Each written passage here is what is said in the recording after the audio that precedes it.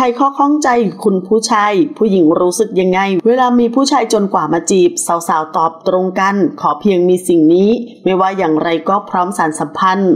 ข่าวเด่นข่าวเด่นจะพาเพื่อนๆไปดูอีกหนึ่งโพสต์ที่ได้รับความสนใจอย่างล้นหลามจากชาวเน็ตค่ะสำหรับโพสต์จากเพจ Facebook ของมันต้องมี ที่ได้ออกมาตั้งคำถามถึงเหล่าคุณผู้หญิง เกี่ยวกับการถูกผู้ชายที่มีฐานะที่ด้อยกว่าตามจีบนะคะ แม้จะเป็นประเด็นละเอียดอ่อน แต่ก็ต้องยอมรับนะคะว่าในหลายครั้งหลายครา เรื่องฐานะที่ต่างกัน ก็เป็นปัจจัยที่ทำให้ความสัมพันธ์ไปต่อไม่ได้ค่ะคำถามนะคะมีอยู่ว่าผู้หญิงรู้สึกยังไง เวลาที่ผู้ชายฐานะจนกว่ามาจีบ ซึ่งหลังจากโพสต์นี้ถูกเผยแพร่ไปเพียงไม่นานนะคะ บรรดาคุณผู้หญิงทั้งหลายก็เข้ามาไขข้อข้องใจกันอย่างไม่ขาดสายเลยทีเดียวค่ะ โดยส่วนใหญ่มองว่าฐานะที่ต่างกันเป็นเพียงหนึ่งในปัจจัยเล็กๆ เท่านั้น นิสัยใจคอ และทัศนคติต่างหากที่สำคัญยิ่งกว่าค่ะ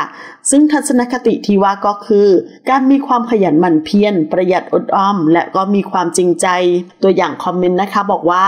จนกว่าก็ไม่เป็นไรค่ะ ถ้าเคมีมันตรงกัน ขอแค่ขยันทำมาหากิน ตั้งใจรักเราจริง ๆ ซื้อสัตว์ไม่เจ้าชู้ไม่ติดยาไม่เล่นการพนัน เอาใจใส่เราและคนในครอบครัว เสมอต้นเสมอปลายก็พอแล้วค่ะ จะเอารวยไปทำไรนักหนา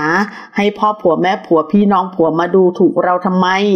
คอมเมนต์ถัดมานะคะ บอกว่าจนได้แต่ใจต้องไม่จน ซึ่งถึงแม้จะมีสาวๆหลายคนคิดไปในทางเดียวกันนะคะ แต่ชาวเน็ตบางส่วนกลับมองนะคะว่า ความแตกต่างทางฐานะ อาจก่อให้เกิดปัญหาในอนาคตได้ค่ะ โดยอิงจากประสบการณ์ส่วนตัวที่ผ่านมาของตนเอง บางก็บอกว่านอกจากฐานะจะยากจนกว่าแล้ว หนุ่มบางคนยังมีพฤติกรรมไม่ดี ไม่ทำมาหากิน กินเหล้าเมายา และหากคบกันต่อไปในอนาคต ก็จะนำความเดือดร้อนมาสู่เราด้วยค่ะ แต่อย่างไรก็ดีนะคะ ความคิดเห็นเหล่านี้ เป็นเพียงแค่คำตอบส่วนหนึ่งจากชาวเน็ตเท่านั้นค่ะ สุดท้ายแล้วความรักก็เป็นเรื่องราวของคนสองคน ที่ต้องตกลง และก็หาหนทางในการก้าวเดินต่อไปด้วยกันนะคะ